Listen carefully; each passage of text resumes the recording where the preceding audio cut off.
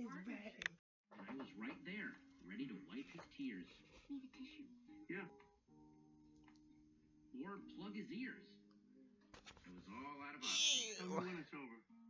My pop pop was unfixable. How do you not feel bad for E.T.? I felt sorry for those poor feds because they couldn't examine him properly because that stupid kid was always getting in the way. What? That Elliott ought to be locked up.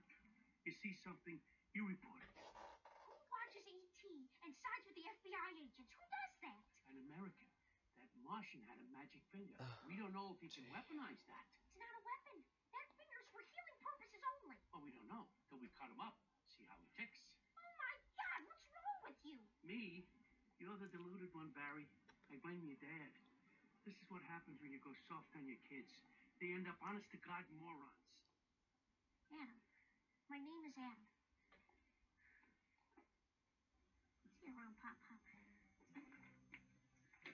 While the reality of who Pop Pop was finally sunk